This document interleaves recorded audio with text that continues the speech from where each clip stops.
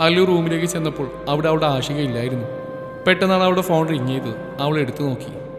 ആഷിക കോളി അതുകൊണ്ടത് അവൾ ഫോൺ എടുത്തു.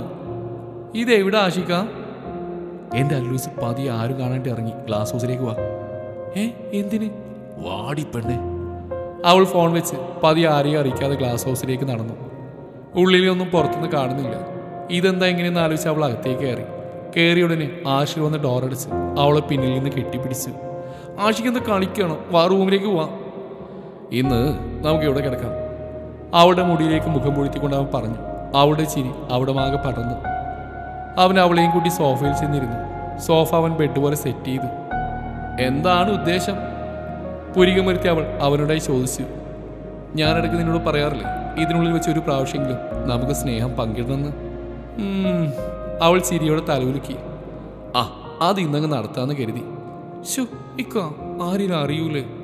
ഇല്ലെന്നേ. അവന്റെ ഉറപ്പിൽ അവൾ ധൈര്യമായിരുന്നു.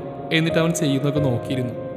അവൻ അവിടെയുള്ള ക്യാൻഡിൽസൊക്കെ തെളിയിക്കുകയായിരുന്നു അതൊക്കെ തെളിയിച്ചതിന് ശേഷം അവൾ ലൈറ്റ് ഓഫ് ചെയ്തു.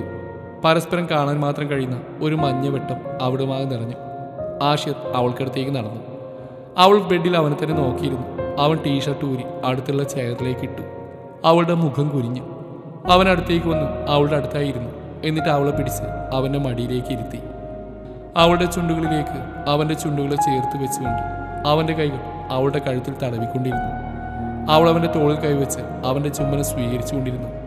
ഏറെ നേരത്തെ ചുമ്മനു ശേഷം അവൻ അവളെ ബെഡിലേക്ക് ഇടത്തി അവളുടെ മേലേക്ക് അവന്റെ ശരീരവും അമർന്നു.